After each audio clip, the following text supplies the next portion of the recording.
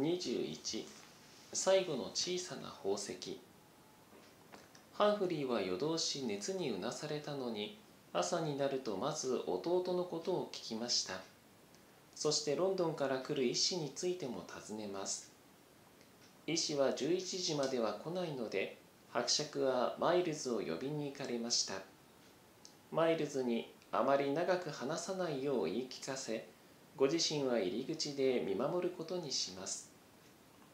マイルズは部屋の薄暗さにためらっていましたがソファーに兄を見つけると駆け寄っていきました。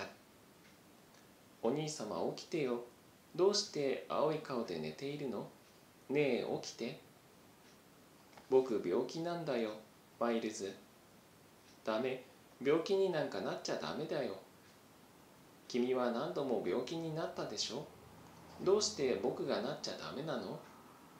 いや涙をためてマイルズは言います。お兄様お池に落っこちなければよかったのに。兄弟の話を涙ぐんで聞いていらした伯爵のところへ球児が呼びに来ました。ロンドンから医師たちが到着したというのです。食堂で医師たちは村の医師とハンフリーの病状を話していました。伯爵は食事を差し上げるようにと給仕に命じた後再び病室へ足を向けます。幼い病人に診断を受ける心構えをさせるおつもりだったのです。が部屋に近づいた時ハンフリーの叫び声が聞こえマイルズがおろおろして飛び出してきました。そして父君を見つけ見つけるとマイルズは言いました。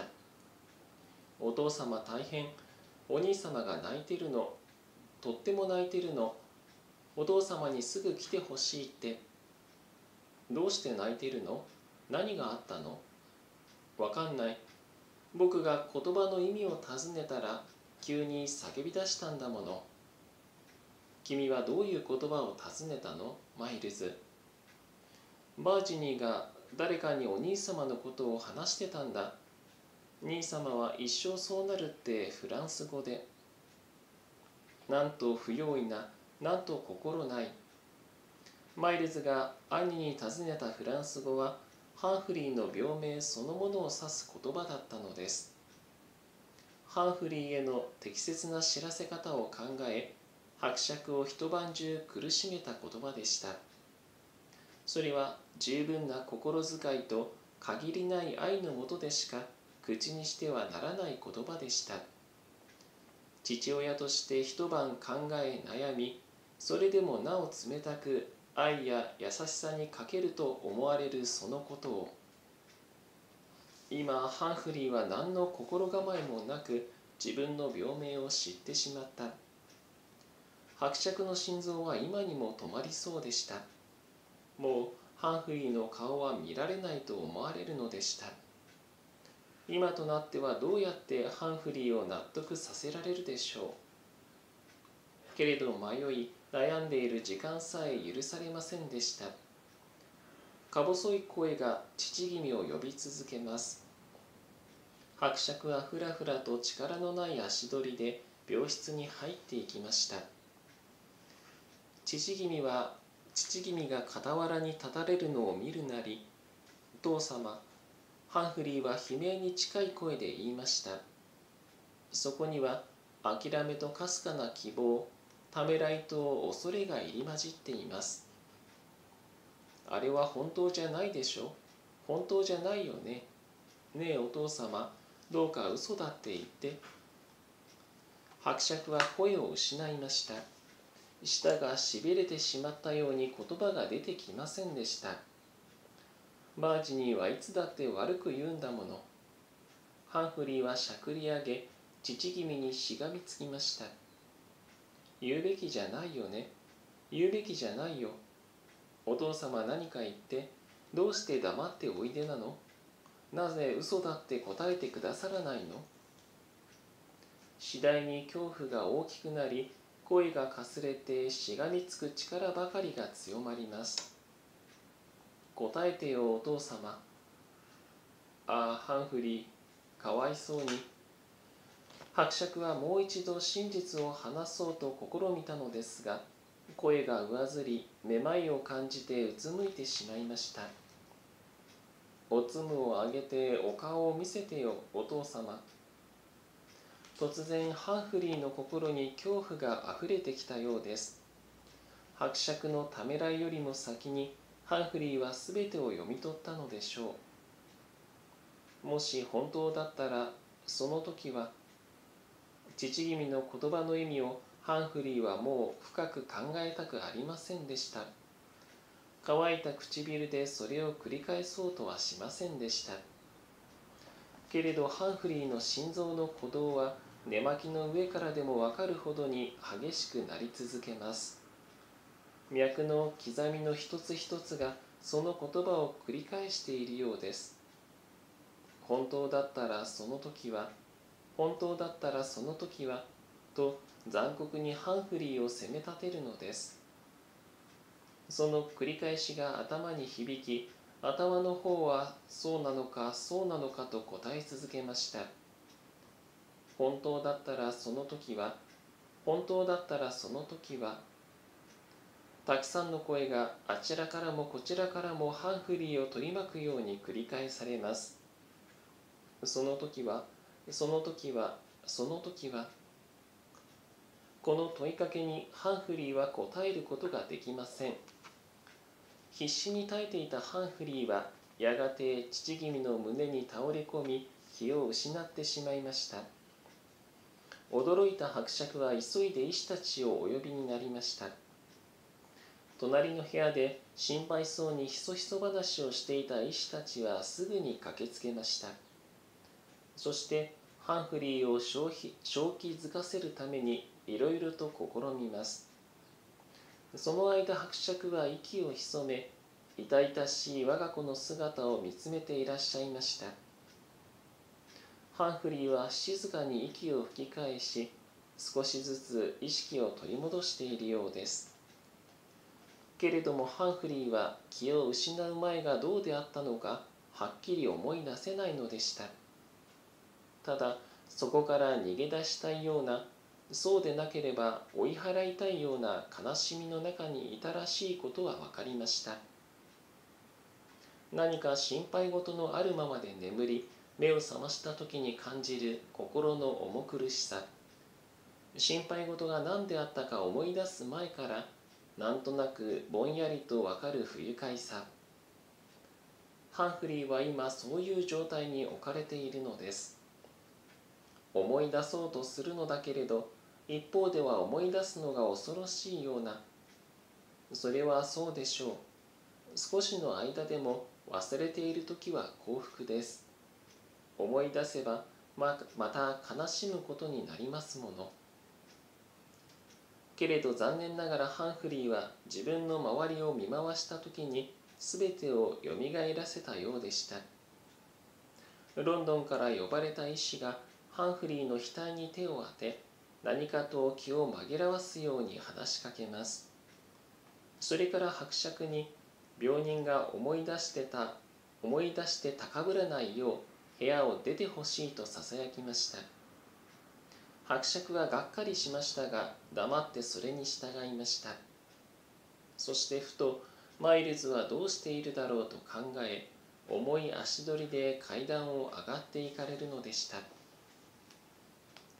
子供部屋では目を泣き晴らして針仕事をしているジャンのそばでマイルズがぼんやりと空を見ています。伯爵はどこにもいる場所がないような虚しい気持ちに襲われました。病室では医師がハンフリーに話させようと試みたのですが無駄に終わったところです。ハンフリーは一瞬目を開き母君の絵姿を見るとまたまぶたを閉じてしまいました。けれどハンフリーの心は今自分の上に起こっている出来事を飛び越えていつかのあの時に帰っていたのです。ハンフリーは一りぼっちでこの部屋にいました。心の中は冷たく空っぽでしたっけ。2階ではバージニーが火のように起こりマイルズは死にかけています。誰も慰めてくれず助けてももらえません。あああの時。お母様帰ってきてみんなが僕に怒ってるよ。突然ハンフリーの口から出た言葉に室内はシーンと静まりました。誰も答えず何の音もしません。お母様抱っこして寄りかかったままにしておいて静かでした。優しく微笑む母君の絵姿が不幸な子供を見下ろしているだけでした。それからしばらくの間ハンフリーは夢と現実の間をさまよい続けました。僕はもうマイルズと遊べない。階段や廊下を走ったりできないんだ。だってマイルズは死にそうだもの。もう死んだのかな。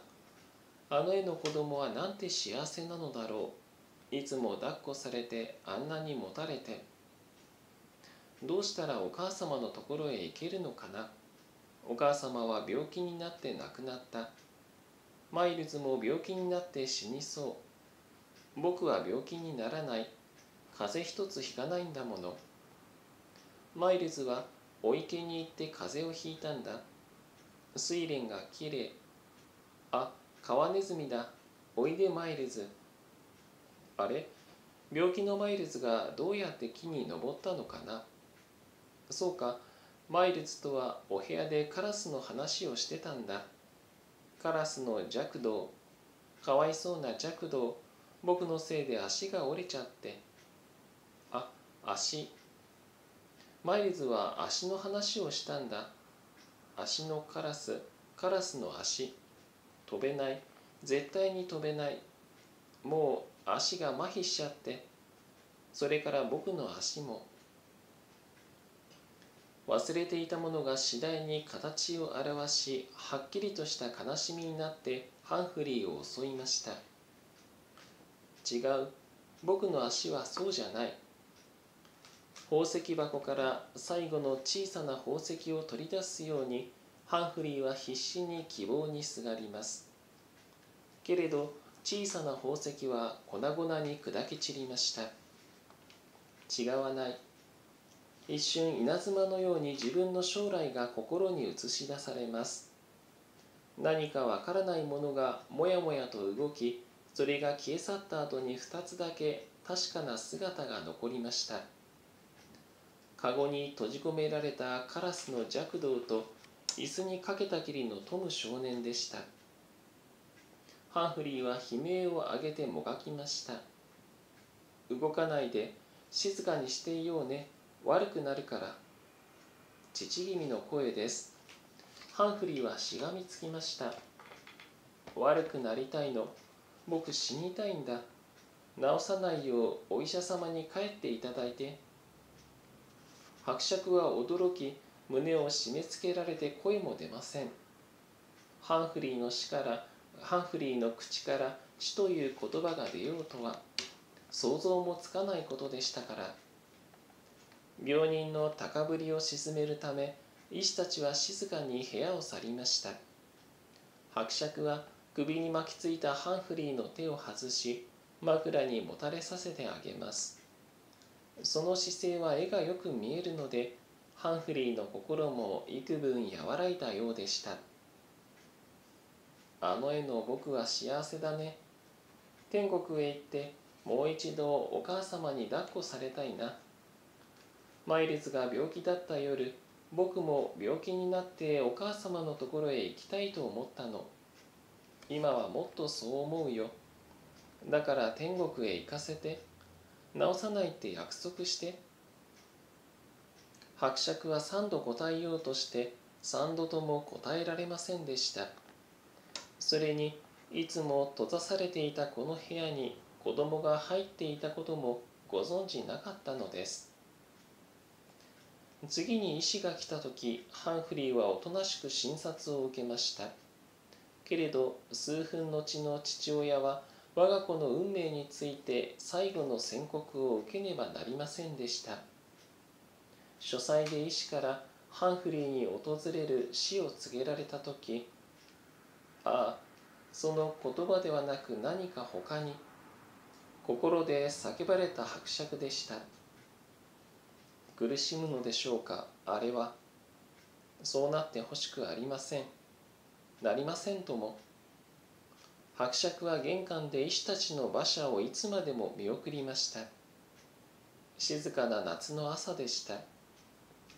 あらゆる名医を集めても何もしてやれぬ。風にそよぐ木の葉のささやきがふと我が子の運命を歌っているように聞こえました。王様の馬や兵隊たちが力を合わせてもハンプティ・ダンプティは元には戻せなかった。